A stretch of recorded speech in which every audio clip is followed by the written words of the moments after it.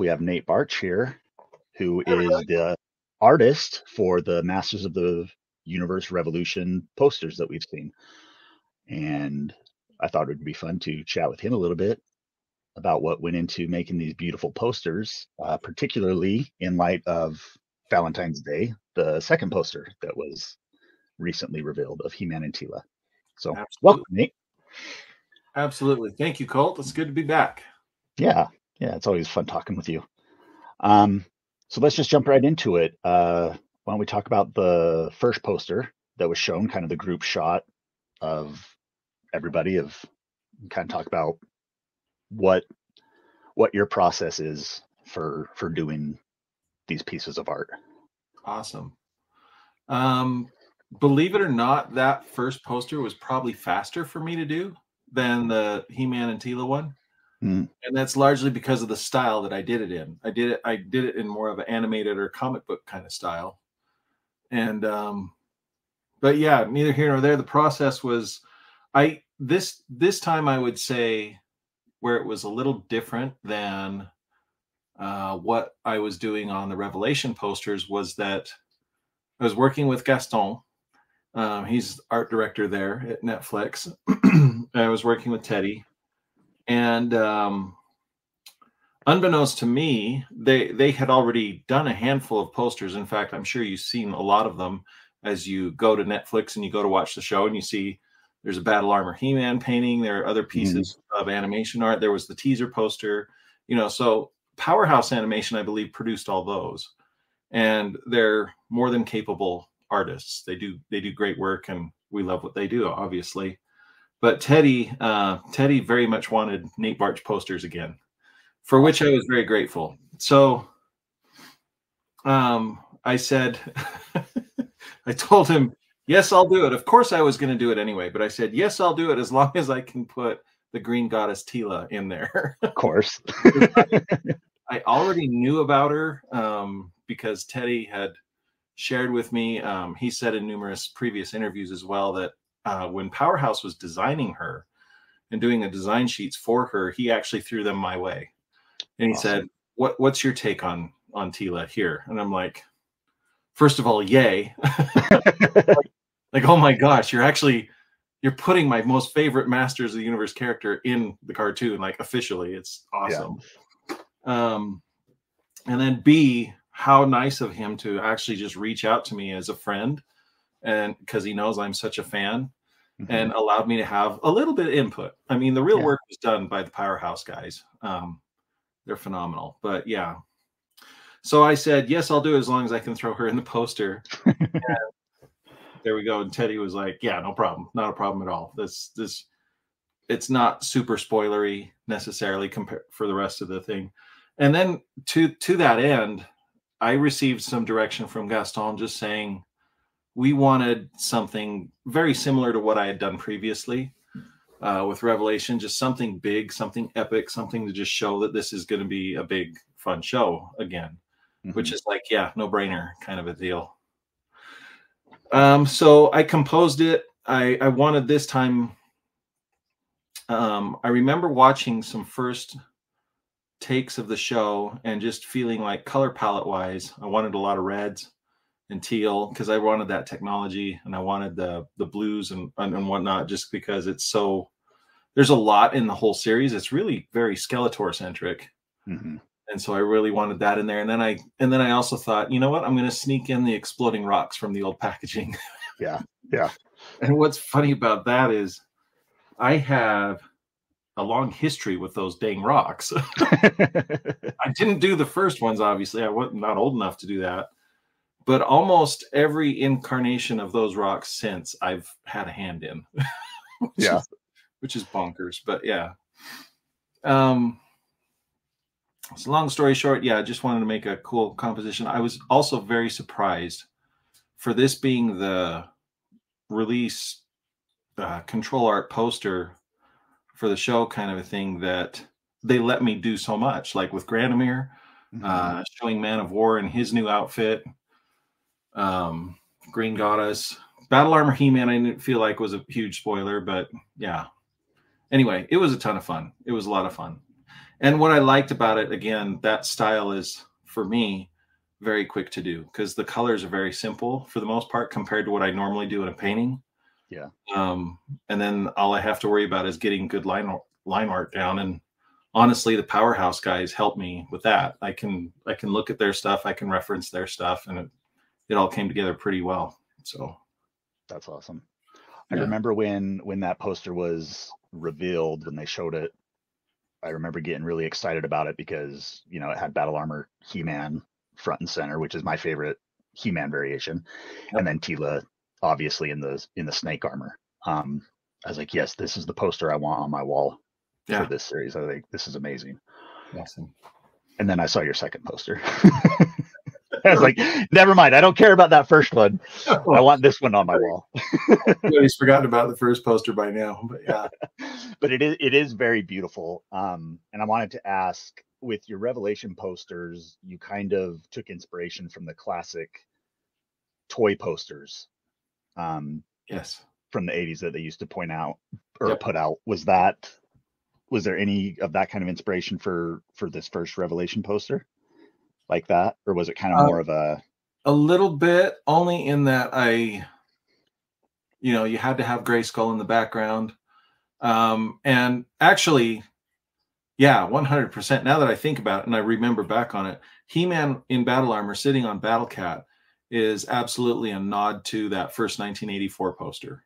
Yeah. Uh, where you have He Man on Battle Cat. And, and, in, and in fact, when I was doing the rough, my very first roughs, I literally traced over that poster that, and oh, that cool. pose. Um, once I started putting the animation designs on specifically Battle Cat, I was realizing this this isn't going to work. You know, William George did this beautiful rendered painting of the style of tiger that the old Big Jim Tiger was that became Battle Cat. Um, it just wasn't going to work for the animated look. So I I, I kind of had to redo Battle Cat a little bit, but the essence of it started there. Cool. So 100%. And specifically that 1984 poster was that was the one that was on my wall as a kid. Like that yeah. one I remember very fondly. And in fact, in many ways, when I think of the main characters for myself for Masters of the Universe, it's really just up to 1984. Yeah. Like I do love a lot of the characters that have come since. Of course, I I love many of the Masters of the Universe characters, but for me, like if I'm collecting a new line on something, I try to hit those characters that are in that 84 poster. Yeah, those those are the ones that. Yes. No, I get I get that. It's the it's what resonates with with us the most based on where we were at that time, you know, as kids. Exactly. So I get that. Yeah. Um well awesome. Well what can you tell us about the second poster that you did? What was the directive and kind of how did you go about that? The direction on that one um, also came from a quick conversation I had from Ted on the side through Facebook Messenger. I was like, "What are what do you want to see for this second poster?" I was I was a little bit sneaky with Gaston. I went the back route and I just went straight to the executive producer. Um, I just went, "Hey, what do you want?" you know, kind of a thing. And he had, he was already talking and he was already consistent with what he had been saying with i think what the whole team had been talking about what they wanted to see. Um there's there's a lot of positive energy and a lot of uh, happiness surrounding christopher wood and melissa. I, am going to get her name wrong. Benoist? Benoist yeah. Benoist. There we go um, just the fact that they're a couple, they're playing He-Man and Teela, that kind of a thing. And so they were very much um, it's like if we can do something surrounding that. They didn't necessarily say tell me specifically to do that transformation. Um, mm-hmm. They just said we want to see those two together in in some way, shape, or form. And um, and I remember Teddy saying, "Don't make it a Harlequin romance novel." yeah, I realized that when he said that, and I look at it now and I'm like, no, that's exactly what I did. Like, you know, when mom or dad tells you don't put your hand on the, you know, don't put your hand on the stove, you just go and you do it. So apparently that's what I did with this poster. They just it into the the He-Man and Teela romance novel. Um, I, I think that might be Ted giving you reverse psychology. That's Maybe. what he wanted, so he told you not to do it. maybe i don't know. Or maybe or maybe there's enough of it that is just very um iconic to specifically that scene. Yeah. so as, as i was thinking about what to do for it um because we had talked if you think back on the second poster i did for revelation there's you know there's god skeletor lunging towards savage he-man. Hmm and it was just kind of those two and then as i talked with the team at netflix they were like if we could inject just a little more like a few more characters and that kind of a thing i was like well teela's still really important to the story.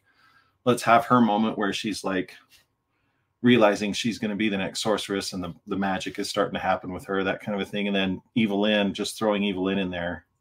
So there were these like vignette vignette uh, spot illustration sorts of things that were also kind of added to that composition um, and I was going to do similar with this one. I actually had some rough sketches to have like motherboard flying up towards Castle Grayskull and having Grayskull change into the the Horde Grayskull. And I was going to have, I think, a moment of Skeletor fighting Hordak because that was another major story beat in the in the whole thing. Um, but honestly, as I put the roughs together and as as we were looking at it, we're just like, you know what? Let's just let's just run with the He-Man and Teela. Let's just keep it simple and because it's so powerful and iconic. Yeah. Um, and which I was happy to do. A little bit sad to lose the. I was really digging the idea of throwing like Castle Grayskull in behind them and like either motherboard is combining it together. And I also at one point had one thought of literally Grayskull being restored so that like it was like exploding out all of the pieces of the horde pieces that were on top. Oh, cool. Yeah. That could have been fun. That might be a painting for another day, but uh but regardless what we ended up on I felt like was very strong, very singular and very poignant to I think what the whole series so far has led up to. Yeah. Frankly. I mean at the end of the day we were it was teased to us throughout Revelation and especially the end of Revelation Mhm. and then to have it finally come full circle and then have it happen there in episode five it was like phenomenal um, i said in another interview previously that one of my favorite scenes stylistically to watch in the animation was specifically he-man and teela's transformation i just thought that was so well done and so powerfully done Yeah. um, i'm not a sailor moon kind of guy and i know that that was it was referencing that kind of stuff Mhm. um, but regardless, so maybe I'm a Sailor Moon man, uh, Sailor Moon fan now. you know, as I was watching, I was like, that is just so beautifully done and powerful. Um, Yeah. Anyway, so it was just really cool to to just focus on those two. And I realized I was I still for the art piece was trying to look for something that we didn't quite see in the animation. I always Mhm. like to try to do that when I can. Um, so there was at one point I thought, what if I make He-Man and Teela's, you know, skin just like that white energy stuff yeah. Yeah. from the transformation? It could have been cool, but I was like, no, we just need to see them. We just need to see these two in their awesome god forms or whatever. You know, the tri Teela, sor- the tri sorceress Teela. And the- sorcerers. Yeah. What did Kevin Smith call the He-Man? Super duper He-Man or Su- super heroic He-Man. or heroic? That's I hope that's duper- on the box when the toy comes out. right. It's not super duper He-Man, but it's super heroic He-Man. There we go. but like the ultimate he-man like the ultimate in my mind he's the ultimate of the magic and the technology like at- in balance within a within him kind of a thing Yeah. Was cool so it was fun and i just i remember messaging back ted and gaston and just saying can i just have this moment kind of a thing and so i drew it up and sketched it and there was yeah let's just run with it i think part of it at the time was we were running out of time you know Ah, it yeah. was like I just needed to get it done. And so there there could have been some of that in the decision making as well. Just like let's just get it done. But uh, to be fair to Netflix and everybody that worked there and Ted and everybody, nobody ever made me feel like it was rushed or that they were stamping their foot waiting kind of a thing. But I knew already just because the show was out that it needed to get out and get done. Yeah. So so it was fun. It was it was a good piece and it's I've I've enjoyed the reception that fans seem to have for it. It's it's it's a very popular piece. Yeah, I'm getting I've a lot of a lot of high compliments. And like yourself, like I need this on my wall. I need a printer. Yeah. Like boom. But Well, and and I've always, you know, we we've chatted before, and I think we're very similar in this. We've always loved this idea of He-Man and Teela together as a couple, and yes. I've always wanted a piece of art that is just focused on that idea, you know. Um, Yeah. And now you've created it, and it's phenomenal. So I'm I'm excited for when you um, make prints available of this whenever that you know whatever your process is for that, because that'll be Yeah. fun. Yeah. I uh I did this last time with the first Revela- revelation poster. Um, where I did basically a, an artist proof run. It's a Mhm. very small run and it's very personal. And, and honestly, Netflix will probably do runs of these posters. Mattel very well could also do, be doing runs of the posters. Um, so I, I think fans should probably keep eyes out for those as well. So, I mean, what you would get from me is I would just print it on a little bit nicer paper and try to use a little bit nicer inks and maybe hit a little more of a premium on that print. Um, because it, it would be like an artist proof limited run type thing. And if if I'm able to get that in the near future, ideally I should strike while the iron's hot, kind of a thing, right? It would make Right. sense.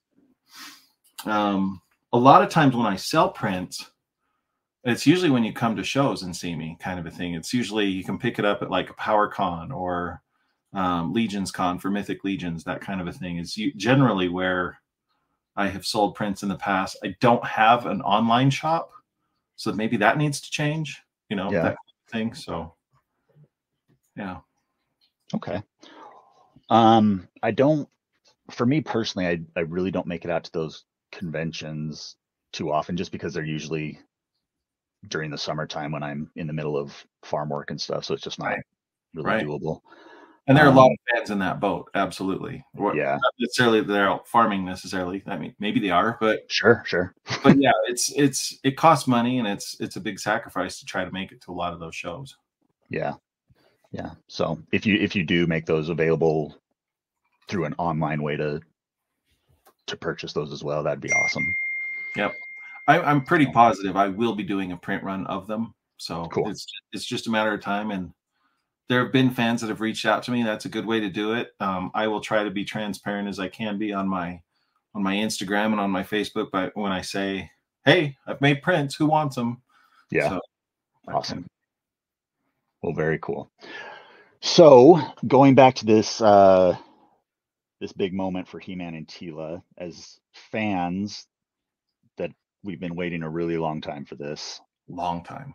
Was Yeah. it worth the wait for you? Absolutely. Like I I genuinely it's gonna sound like a big dork, but I th- I feel like I'm in a safe place for this. it's uh I definitely teared up. Yeah. Like it like when it happened, and it was funny because I was watching it to prepare myself for the posters. Like I hadn't seen the po you know, I hadn't started on the posters yet. Yeah. And I'm watching um it was interesting that particular scene there was no sound effects track it was literally just their voices so all i Oh, had wow. was, all i had was the visual Yeah. but i i mean it had built up to that moment and it, and it started like the emotions as it were started as soon as adam said i'm going to get her kind of Yeah. a thing it's Yeah. like it's me i'm going to go and he just hops right into that maelstrom of flying rocks and energy and all this stuff and teela's like we don't know what's happening to her nobody knows what's happening is she going to die is she, can she take all of that power of all three staffs kind of a thing Mhm. and um yeah he just jumps in saves her and it's just like that's the moment that is that's just so good Yeah. and then to see them transform together was just beautiful Mhm. and as as I'd mentioned before, it still it still very much sticks out to me as an, an, an iconic moment, and it probably will for a long time. Like I think so. as a fan, and as I continue to be a fan, it will it will forever stick out to me and and be a very memorable moment. I agree. It's I think it's something that we're going to be talking about for quite a long time. Yeah. Um, I know when I saw it, I I think I had the same reaction, you know, and and I'm not embarrassed to say it, but I, you know, I had tears in my eyes as well, and Yeah. my jaw was on the floor because Yeah, I, it was just incredible how it all happened, and just but seeing it, the spectacle of it was amazing, obviously, but also just all the emotion that's behind it as as fans, you know, mm-hmm. to finally witness this event. It was just it was special, you know, and yeah. and for me, I'm really excited that you were able to capture that moment so perfectly with that with that poster. I remember I remember when Ted Ted sent it to me a couple of days before it was revealed. Nice. And he was like, he's like, you've got to keep this quiet. He's like, you you haven't seen this. And he sent it to me and then he immediately deleted it. yes. out of the messages. so I couldn't like download it or anything, but I saw yeah. it and I was like, and I just immediately started mes- messaging him back about it, you know, and and he's like, yeah, he's like, and then he he had said that he was he'd been talking with Tim Sheridan about it, yeah, about sending it to me, and Tim was like, he's like, you're gonna kill Colt if you do that. If you send that to him, he's he's gonna die. and then uh. and so that I, you know, and over the next couple of days, I was talking with Tim about it as well, and and he was asking me if if Ted had told me the plan for the poster reveal and all that. I said no. He just showed me the the picture and going back to your your Harlequin romance cover, he said he told me he's like, I think the plan for it is that it's going to be it's going to be the cover of the romance novel that they want you to write. and so Tim was telling me that I I was going to write the new re- the romance novel, and it was really funny. And then we started messaging each other with like taglines for the for the novel, you know, yeah. leaning into yeah. the cheesiness of of romance novels, and yeah. it was really funny yeah and it's i think it's it's worth mentioning for sure and i and obviously since i'm here with you i i will express and something i forgot to say earlier but when ted for ted and i were first talking about the concept i believe i told him literally i'm like oh this is for colt like oh. i literally like i immediately thought it's like yeah colt is going to go nuts over this so i mean you were you were thought of there in the in the oh. original conception of this poster for sure Oh, that's awesome. It was it was funny. It was so funny. Yeah. Well, it it it worked. So you got me with it, and it's it's great. So good. But well, I don't want to take up too much of your time. This was just a quick thing. It, it's always a pleasure to catch up with you. I love chatting with you, and likewise, we'll have to we'll have to do it again soon. Likewise. Yeah, that'd be fun. Um, but thanks for your time and and just as a fan to another fan, thank you for your passion and for your positivity and everything that you do for this for this for masters you know? I've loved seeing all your stuff over the years. Thank you. That's, so, that's appreciated. It, it it's a, it's a dream come true because i'm just like any of the rest of the fans. I mean really yeah. I, i've shared my story before. I've grown up with it. I've never i've never let go of he-man ever. Yeah. And so to be able to get to do uh, what i get to do with with Roy and Mattel for the packaging art, and then with Ted and Netflix for these shows. It's it's an honor for me, and it's it's a delight every time. Awesome. Thanks. And I and I try try not to r- ruin it. like I actually sweat, and I sweat bullets when I work on this stuff.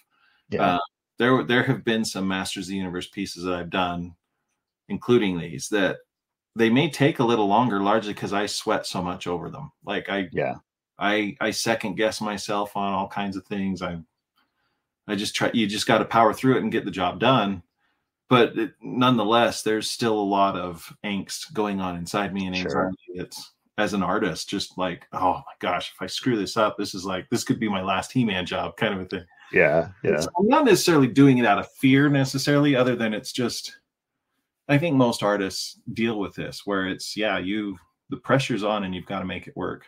Yeah. And, and I care a lot about this property. So absolutely. So that that's that's part of it as well. Yeah. Yep. Well, as always, this has been great. So cool. I will go ahead and end the recording. Um, let me chat with you for just a minute off air before I let you go completely. You bet.